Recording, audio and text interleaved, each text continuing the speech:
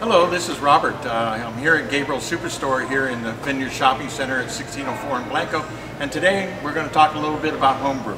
You know, as you know, uh, we have a phenomenal beer selection, obviously wine and liquor, but a lot of people don't know that we sell all the supplies for people that make beer, wine, cider, and mead.